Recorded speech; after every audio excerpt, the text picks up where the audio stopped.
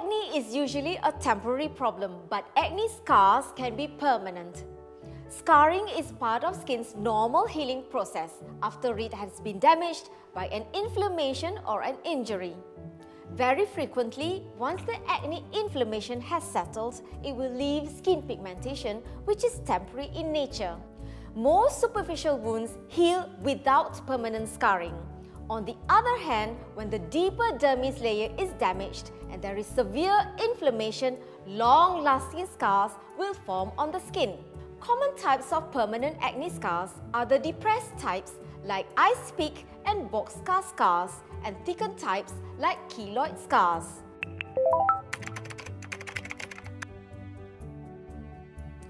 We may not completely prevent acne scarring, but there are ways to reduce your chances of getting them. Number 1. Get your acne treated early by a dermatologist if over-the-counter products do not work. Number 2. Avoid using harsh skincare products. Number 3. Do not squeeze your acne as this may force the acne content deeper into the dermis. Number 4. Use sunscreen because acne skin is more sensitive to the sun.